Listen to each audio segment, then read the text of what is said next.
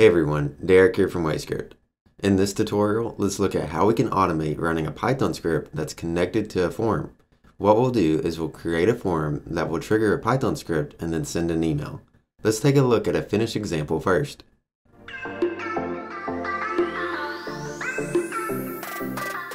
Here's the finished product of what we'll be making in this tutorial. What we have is a contact form, and let's say that we're running an SEO consulting business. So we're gathering information about how we can help potential clients. We have a radio select for the role of our potential client. We have a free text that we can put in a website.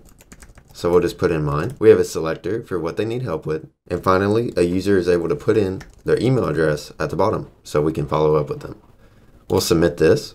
And when the user submits this, on our backend, we can see this. So we've created something that will run a Python script to go to that user's website and get information about that website so we don't have to.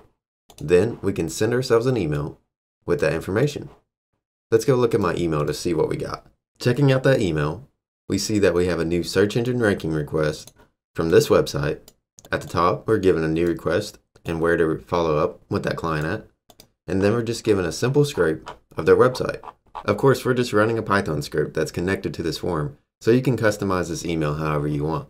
Let's see how we can build this using WayScript. Go ahead and log in or sign up for WayScript if you don't already have an account. Then we'll click on create a new script. We'll say this one will be form to Python and click create. Our first step is to add a form trigger. We'll click on add trigger and select the form one. We can put in a title for whatever we want. I'll stick with the same example, consulting, and put that in. We'll put in a form description. So we'll say something like how can we help you with your SEO? Next, we can put in our questions. So I had something on mine like select your role, and this will be a selector, and we'll add in a few options. We'll do hobbyist, professional, and an owner. We'll add another form element. We'll leave this one as a text input, and we'll say name of your website. And we'll put in a placeholder of www.website.com. We'll add in a title of another question of how can we help you? Help you. This one will be a selector as well. And we'll just put in a few options. Of course, you can customize this form however you like, so don't feel like you have to follow along completely. We'll put in a want to learn more and make this a selector. Finally, we'll put in a free text, text input of contact email we see that once we fill this out, we get variables down here at the bottom left. We can use these to trigger certain actions within our script. Let's do this now. We'll click off of this and drag in an if statement. For our comparison, let's say if the form input number four, so this is the one where we ask, do you want more information? So if that is the same as yes, then we want to follow up with that user. Now that we have that, we need our action. So let's use Python to scrape their website so we can get that back in our email. We'll pull in a Python code module and place it here. Clicking on edit code to the left, and I'll zoom in. WayScript already has a bunch of libraries installed, and we can access those the same way we would in a Python script.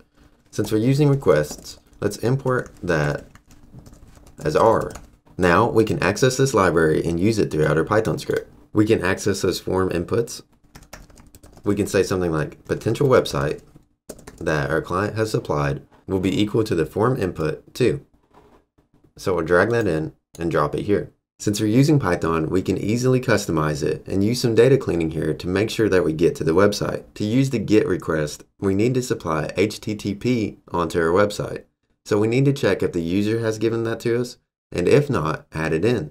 We'll say something like if HTTP in potential website, so meaning that the user has supplied it, we'll say full potential website is equal to potential website. Then, if they haven't, we'll say an else statement and put full potential website is equal to the string HTTP and then concatenate the potential website.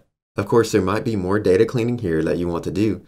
I just want to show you that it's possible using WayScript. Next, we need to send a GET request to this website. We'll drop down and de-indent and say response is equal to r.get, and then we'll pass in full potential website. We'll say print response.text. Now we can pass that variable to the rest of our WayScript workflow by using this variable's dictionary. We'll name this, and I'll just call it the same thing. So full potential website is equal to the value in our Python script of full potential website. We'll click done editing.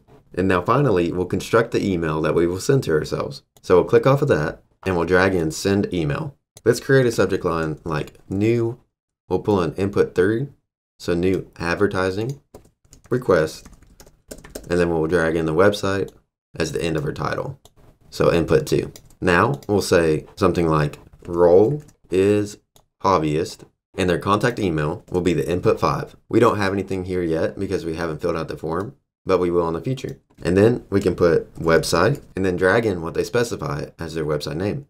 So input two. We'll click off of that and close those. Now we should have a form that collects data and runs all of your integrations automatically on the cloud. Let's test it out. We'll go to our form by clicking on form trigger and view form. This will give us a URL that we can access and give to other people right here. We'll fill this out the same way. We'll click on submit and we get a form submitted. Let's go back to our script and we see that our form trigger ran, our if statement returned true because it found that I wanted more information. It went and scraped the website and sent that to me as an email. I hope you see the power in these cloud integrations that WayScript supplies. If you have any questions, as always, please let us know and we'll get back to you. If you have any suggestions on what we should build next, please let us know that too. Until next time.